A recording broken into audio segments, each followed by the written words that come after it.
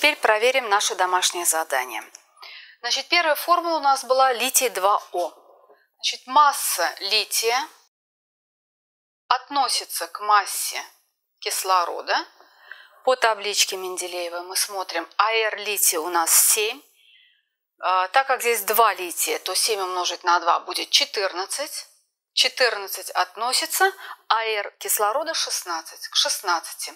Эти цифры сократимы, потому что они оба четных числа. Сокращаем на двойку, получается 7 к 8. Значит, правильный ответ 7 к 8.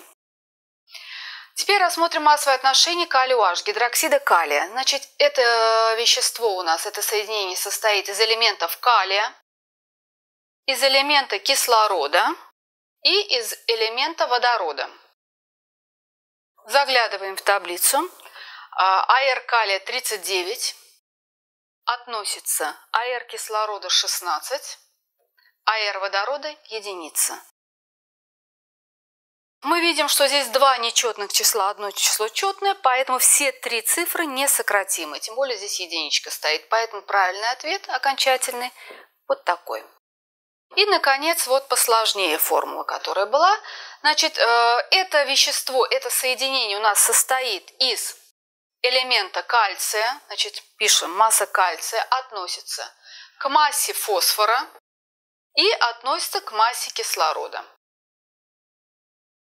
Из таблицы Менделеева АР кальция у нас 40. Таких кальция у нас 3 атома, значит 3 умножить на 40 получается 120. Относится П. П по табличке у нас АР 31. Но П у нас взято в скобочки, и за скобкой стоит дважды, то есть П у нас два атома. Значит, 31 умноженное на 2 получается 62. Кислород у нас в скобках 4 атома, а за скобкой еще 2, дважды. Получается 4 умножить на 2 – 8, то есть всего кислорода 8 атомов. 16 мы умножаем на 8, получается 128. Значит, цифры четные, можно их сократить. Сократим на двойку для начала. Значит, получается 60, 31, 64. Одно число из них нечетное, поэтому все три цифры сократят, сократиться у нас не могут.